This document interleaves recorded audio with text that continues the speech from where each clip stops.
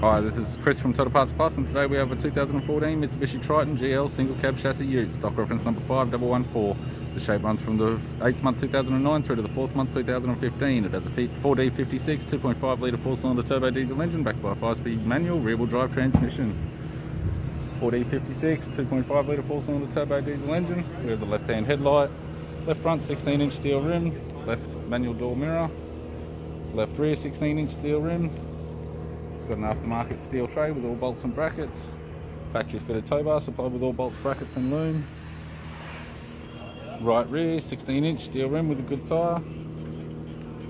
And a right manual door mirror.